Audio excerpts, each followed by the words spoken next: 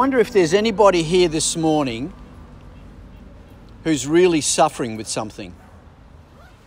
Now, you don't have to put your hand up, but in a, as a pastor, I can tell you that in a group of 50 people or so, there'll be some people who are really struggling this morning. Maybe you're struggling mentally and you're dealing with depression or anguish or mental illness. Maybe you're struggling um, and suffering, maybe physically. Maybe there's some disease or sickness or some medical condition that you're dealing with. Or maybe you're suffering relationally. Maybe there's a relationship that you're involved in that's fragmenting. Or maybe you're at odds with your kids. Or maybe you're at strife with a close friend. Or maybe you're even suffering spiritually. Uh, you're totally confused about the spiritual life. Maybe you're not sure about your meaning in life. Maybe you're not sure about your spiritual status before God. Maybe you don't even know whether God really exists or not.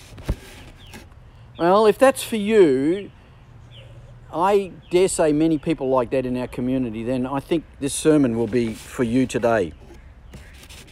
Today we're going to look at one of the most intimate personal stories in the gospel. It's a story about um, Jesus and three of his closest friends. Interestingly, it's only recorded in this gospel in John. And I pray that this story will give you hope today. So let's get some background before you understand the story. You need some context. It's sometime close to Easter, 33 AD, and Jesus is in the last few weeks of his life. This is not long before he's murdered. And um, he's staying in a very remote part of town, east of Jerusalem. He's in the wilderness, actually. And one day, word gets to him that one of his dear friends, in fact, one of his followers, one of his disciples, not the 12, but one of his disciples, is very, very sick. Now, Jesus knows this family in this place called Bethany, about two miles east of Jerusalem.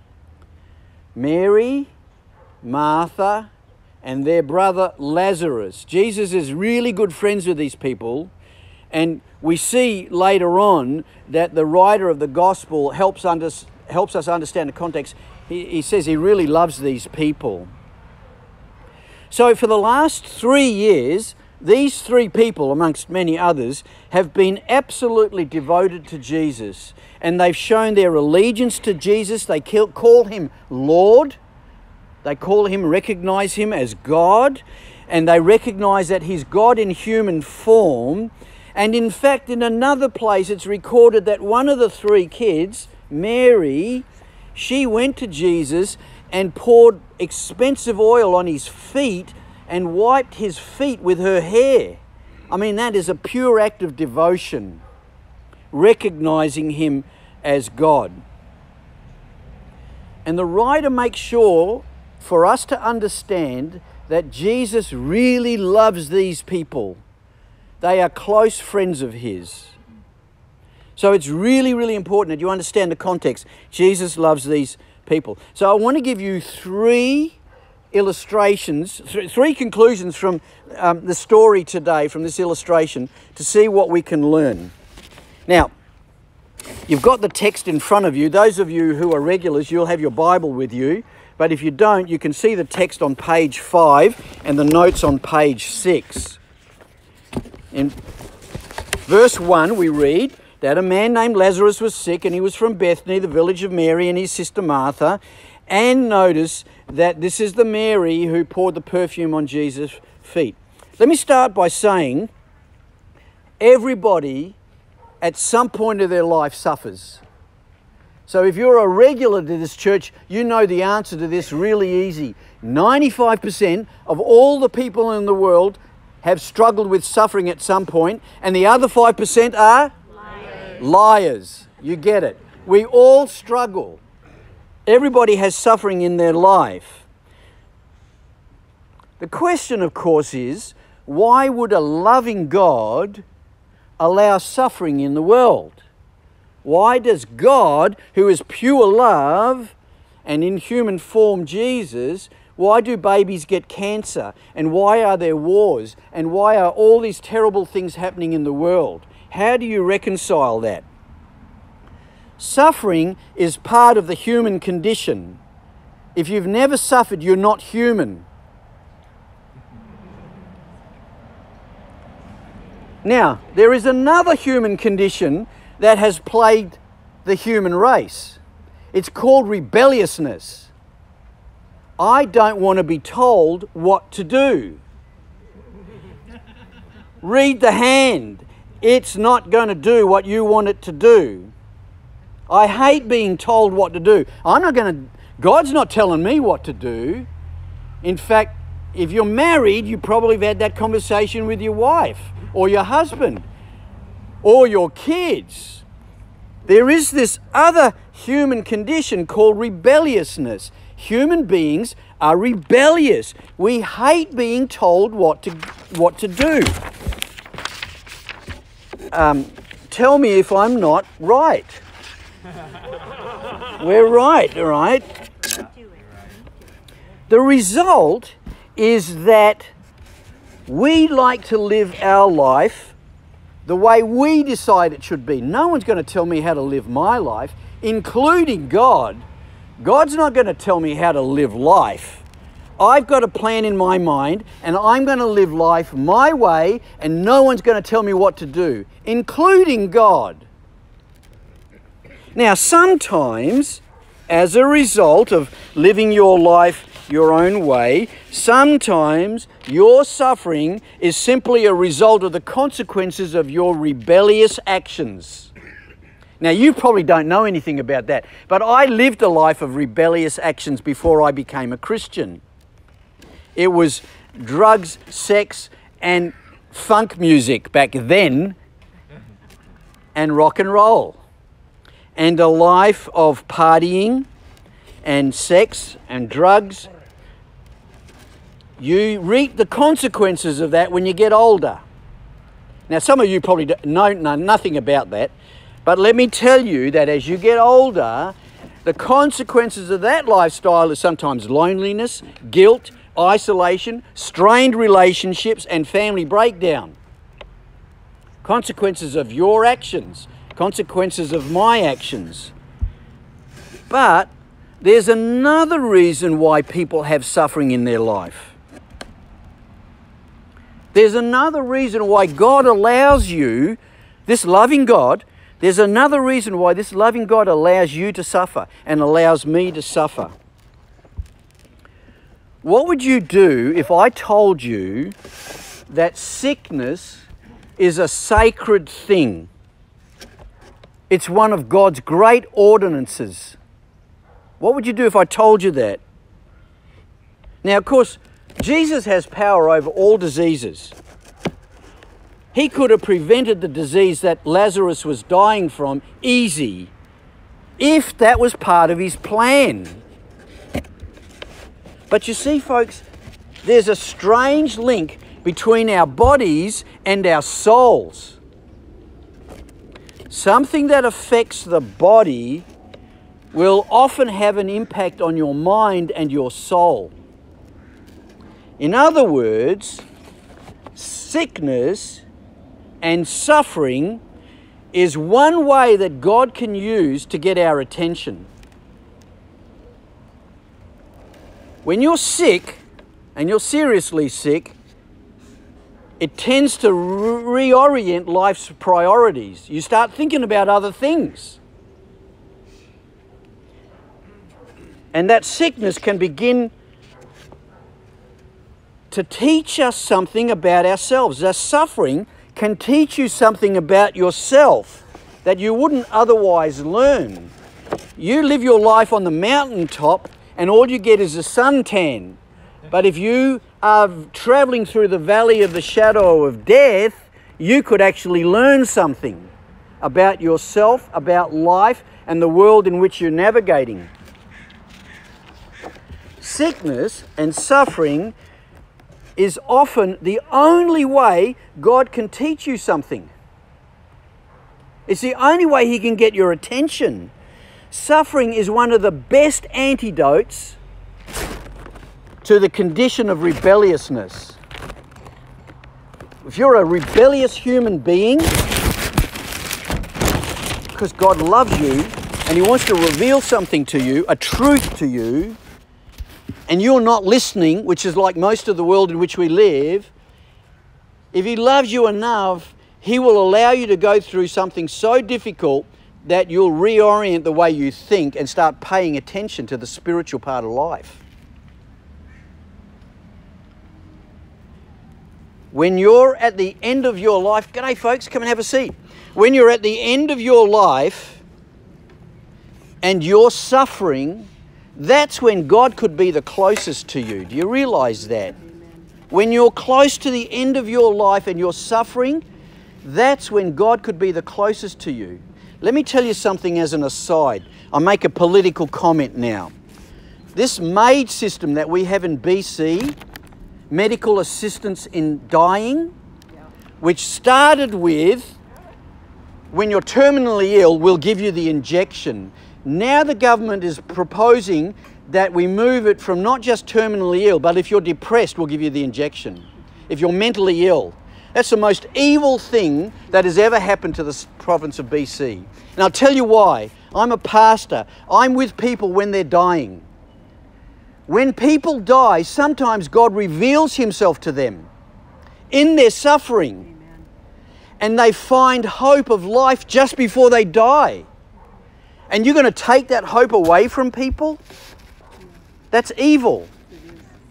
And so I want to say to you that your suffering, no matter how bad it is, there's no justification for taking your life because God will use it to speak to you. Imagine this you get suffering all your life and God reveals Himself to you, and then for the rest of eternity, you live in complete joy and peace with God. Or what about you get healed, you get your healing, you die quickly, and you spend the rest of eternity without God? That is a bad thing, whichever way you cut it. When you're at the end of your life and you're suffering, God can be the closest to you. If you're a follower of Jesus, the way you handle your suffering in Christ is a testimony to the people around you. How many of you know people who've been very, very sick and dying, and they have a victory of life because of what God is revealing to them? The old bishop, Bishop Ryle, who I read on this passage, he said, God does not go away when bodily health goes away. Christ doesn't depart when life departs. Now, the title of my sermon today is The Purpose of Pain. Those of you who are C.S. Lewis fans know that he wrote a book called The Problem of Pain. This is what C.S. Lewis writes about pain and suffering. We can ignore even pleasure but pain insists upon being attended to. God whispers in our pleasure, He speaks in our conscience, but He shouts in our pains.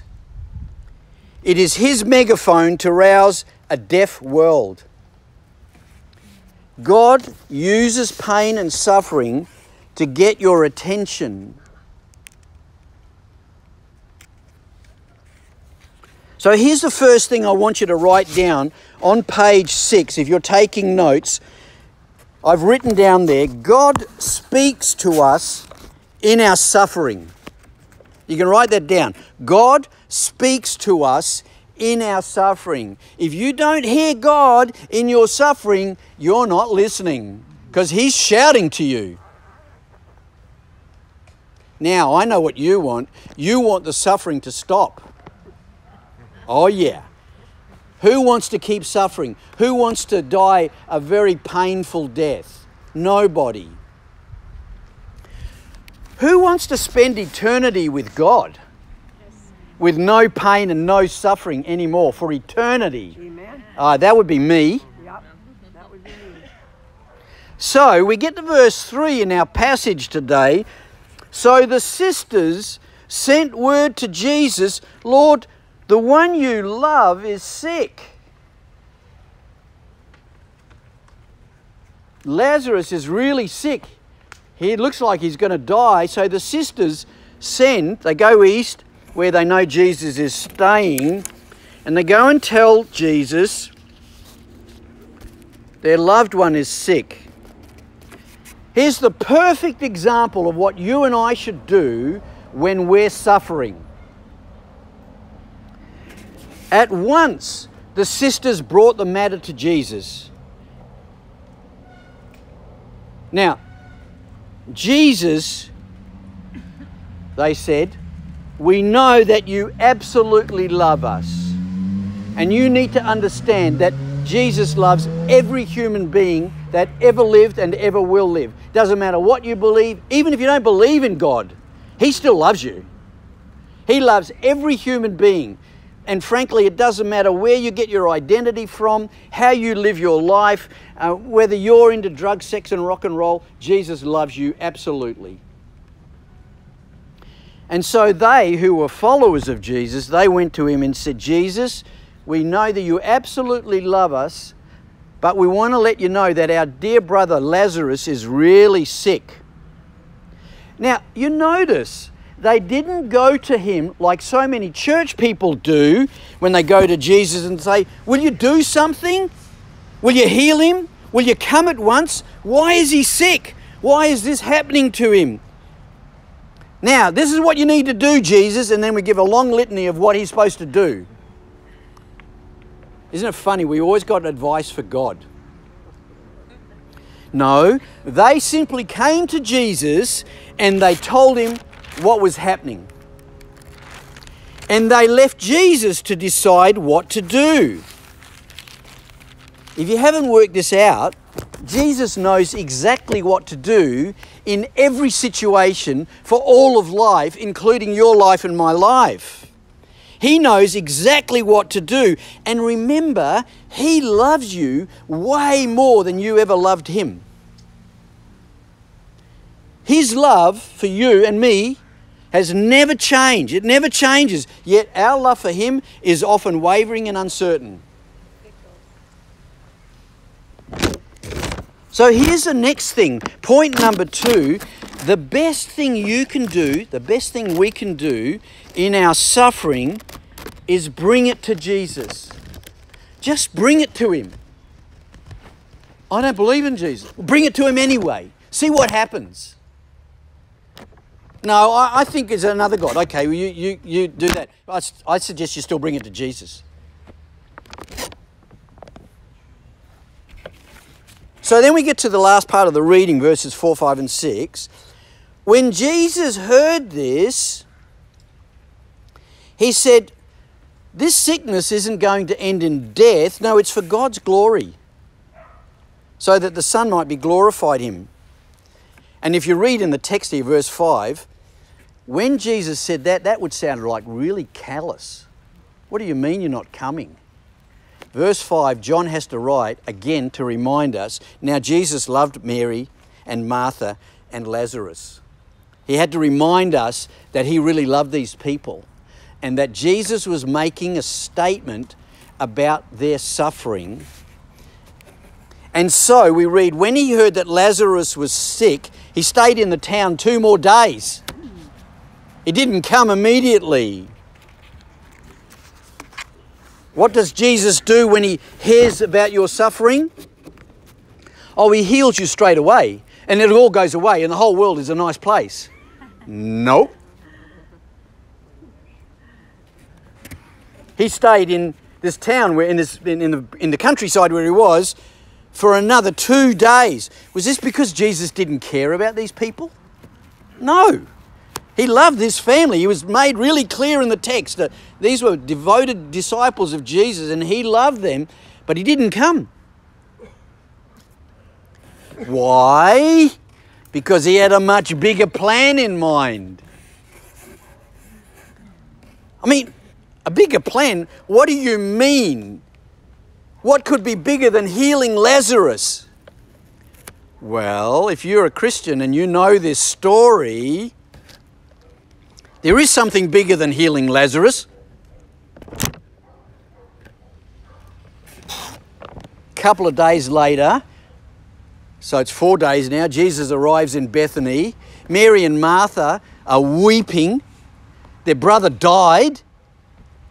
How can Jesus help in my suffering? Well, anybody know what happened to Lazarus?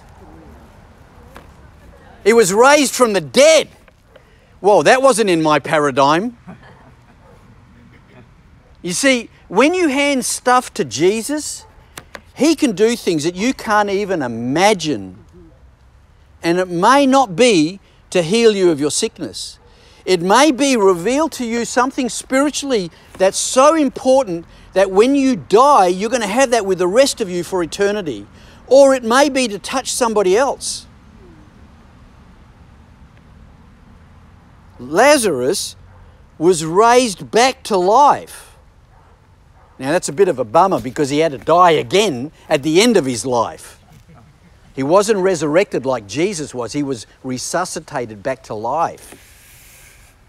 But no one could have imagined that. You and I know that because of hindsight. We've got the story. We know the story. But you imagine being there 2,000 years ago in that town and Jesus died, and we love you, Jesus, and we came to you and we told you our brother was sick and you didn't do anything. Now, you never said that to Jesus, but I've said that to him on several occasions when I've been really struggling with stuff. Where are you? How come you're not helping me? Wow. They never imagined that Lazarus could be raised from the dead. Now, God could have prevented this death. He could have stopped it really easy. In fact, it's fair to say that God doesn't love it or doesn't even like it when his creatures, his people, the human race suffers. He hates that. He hates when people suffer. But God understands and knows that us human beings are struggling with a human condition called rebelliousness. And let me tell you, you look at the world around in which you live where people are not in touch with their suffering. They're suffering, trust me. I go visit homes, I know. On the outside, they got a nice suit and they present really well. Pretty well everybody out there is suffering, but they maintain this level of distraction, they wouldn't even consider God. It's amazing how resilient people in Western Canada are to hearing the voice of God. It's amazing. So God knows because he loves people so much, he knows this problem of the human condition of rebelliousness, and he'll do whatever it takes to get their attention. Have a life, nice life now. Don't bother me with God, and then you've got to die.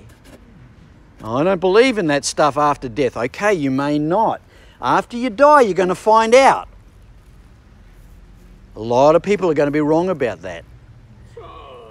Bishop Peter, why do you think so many Canadians are resistant? You tell us, because I, I know you know the answer to that. uh, let me put it back. Ed, why do you think so many Canadians are resistant? Christians are resistant. We want to do it our own way. Because we want to do it our own way. We've got this rebellious nature. I've got a way to live my life way better than anybody else. Christians also are resistant. Christians are resistant. Hey, folks, come and join us. It's a picnic. There's a couple of seats up here. 50 buck seats are up the front of you. so, God, okay, focus now. This is really, really important. God will do what it takes to get your attention so that after you die, you'll have a life that could be impossible to imagine down here. suffering and sickness is often the only means by which God can deal with our rebellious nature. And He loves you and me so much that He's willing to persist with you in revealing Himself to you, even if you don't want to hear it. He wants to reveal Himself to you. And after you die, you'll see that everything that God did and everything that God allowed on the earth was done perfectly. And there was a reason for it. All those babies dying of cancer, all the wars, all the floods, all the natural disasters, all the. Oh, by the way, natural disasters. Anybody know that we got fires in northern BC? Okay. It's pretty bad, right? Anybody prayed for the souls of the people so that people will pay attention to God in this? And maybe through this suffering, people will turn to God? Because people have got their faith in their hose. Are you kidding me? And then you're going to die anyway. Maybe God's trying to get our attention. Pay attention to your spiritual life. Now, as we would say in Australia, she'll be right, mate. Yeah, till you die. What about your quality of life? Don't get me started on that one. God will persist with, with, with you and get your attention. Do you think if God gave you a million dollars, you'd pay attention to Him? Nah, you'd get distracted.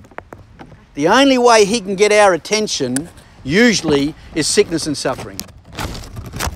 So here's point number three that you can write down on page number six. God knows what is best and what to do. And what to do uh, and what time to do things for those who come to Him. God knows what is best and at what time to do things for those who come to Him. He knows how to handle it, and it's His timing. He stayed two days extra before he came to Bethany. It was four days after he got there, and Lazarus was dead. Well, let me finish. You know the story. If you've been around church for a long time, you know the story of Lazarus and Mary and Martha. Lazarus dies, and four days later, Jesus brings him to life. But Jesus had something in mind that the people of Bethany could never have imagined. This was for the glory of God. This was for God to be revealed. God had something good and holy in mind that they could never have even imagined. There's a reason why Jesus called, is called a physician. He's the wisest physician and he never makes mistakes in diagnosis and prognosis. All you need to do is listen to him. You have your struggles and suffering, you understand He's speaking to you, you take it to Him. Don't tell Him what to do. Here's my struggles, and you pay attention to what He's teaching you and trust that He knows the best time when to do things. That may be that you die. If you're a wise person, you'll understand that death is not the end.